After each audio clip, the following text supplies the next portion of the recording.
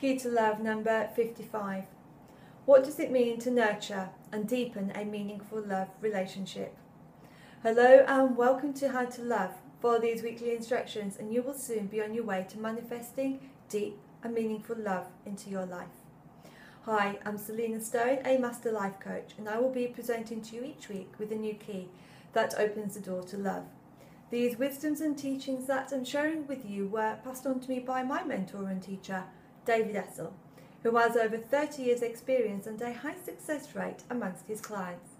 So, what does it mean to deepen and nurture a meaningful love relationship?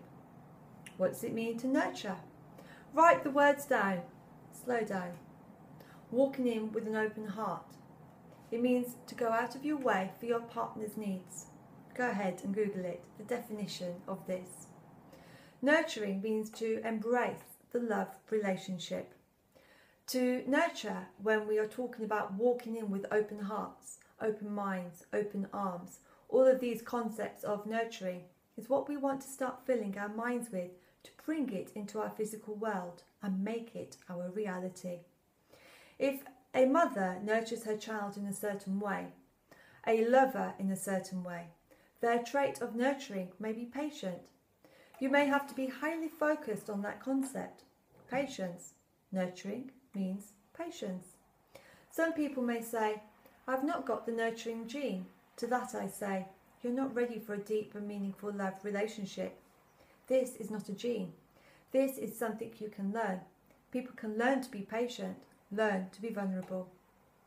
Nurturing means that you are vulnerable. Being nurturing in a love relationship means taking risks. Nurturing means being silent.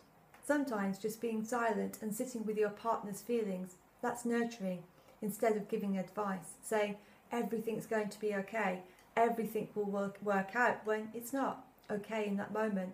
Allow them to feel. Nurture them by being silent.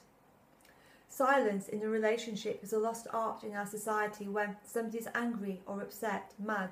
We have a tendency to strike back, fight back, and make excuses when they just need to be angry.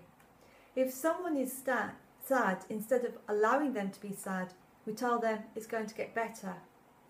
Being silent, sitting with your partner, whether you're in a relationship or it's your next one, is a good nurturing trait.